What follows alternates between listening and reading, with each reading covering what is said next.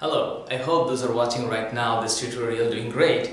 In this video, sodium extraction process will be discussed and this is the third tutorial of the chapter metal extraction because in the first tutorial I explained the steps of metal extraction and in the second tutorial I explained how the aluminium will be extracted. So there are some different process because there are some different properties of different metals. So in this the video sodium extraction will be discussed which is done by the Downs process. It is known as Downs process and this is Downs cell.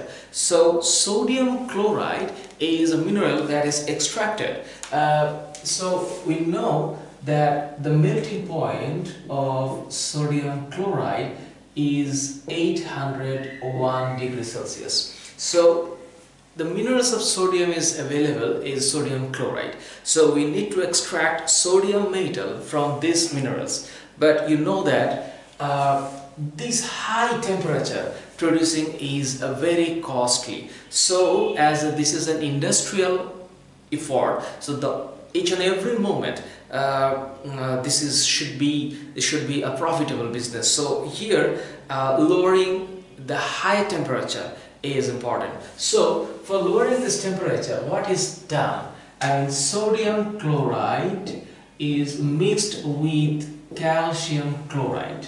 And you know that usually sodium chloride is given as 40%, 40 to 42% and this is uh, 58 to 60%. When this mixed up is there, I mean, you know that this is 2 to 3 proportion. So the mix-up temperature is lowered to 600 degrees Celsius. So now this is feasible comparatively to produce 801 degrees Celsius to 600 degrees Celsius. Now what is going on in this Downs cell?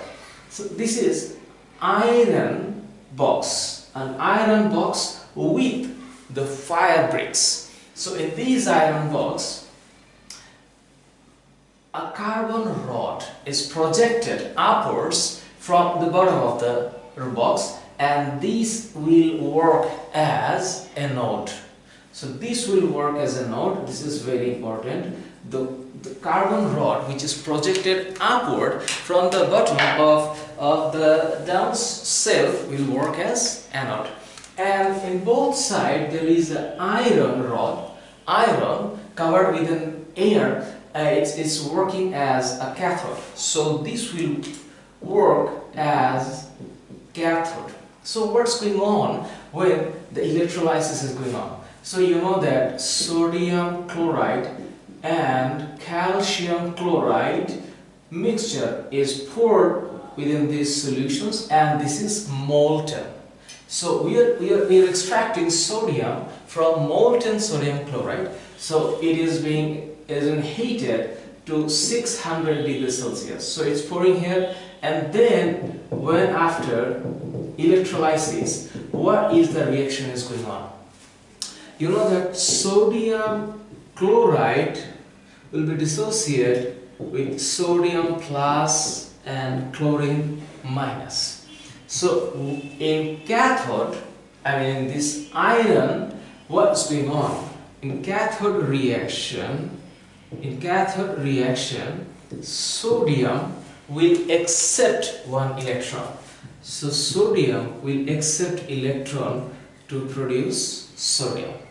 And this sodium is very light I mean uh, the specific density of sodium is nearly 0.97 which is less than 1 so it will float from the molten sodium chloride and then it will store through this process here and it is kept under the petrol or kerosene because this is highly reactive metal and it can react with oxygen immediately. So that is why after the extraction it is kept under a liquid like petroleum and kerosene. So it will be safe. So sodium is lighter. That is why it will be floated and then it will be stored there.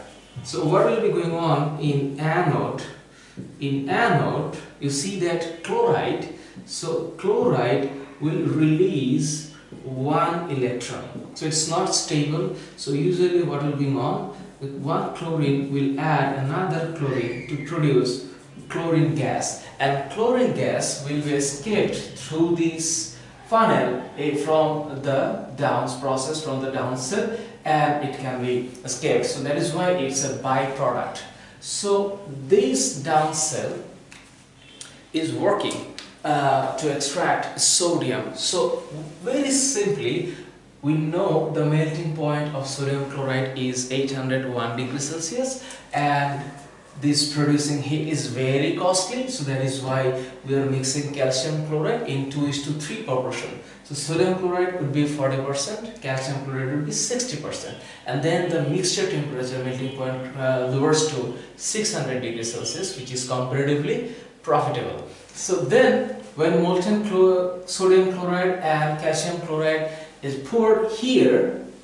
after electrolysis you see that this carbon rod will work as anode. So anode will attract anion. So in these uh, molten solutions, chloride is the only anions are there. So it will accept, it will release the electron here and then it will be a gas. So as a byproduct, it will move outside of the down cell. And in cathode, which is working as this iron rod, iron rod is working as cathode and these ions, I mean this cathode will, will attract the cations. The cations will accept the electron to produce sodium as a metal and this sodium is, is actually kept under the petrol or kerosene is because sodium is really reactive metal that can react with oxygen or air immediately. So this is a very simple process, a sodium extraction because I have uh, said earlier that I will explain a different uh, metal extraction in different way. In the next video I'm coming up with iron extraction with blast furnace and some series of reaction which is very important for your exam. And students those are watching this video let me know that is it really beneficiary for you or you have any recommendations and comments? Put in the comment sections. I shall definitely answer your questions. So take care. See you in the next video